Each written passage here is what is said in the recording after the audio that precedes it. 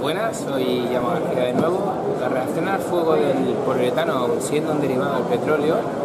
eh, puede ser muy amplia, eh, hasta poder conseguir un BS1 de cero, que ahora mismo es uno de, los,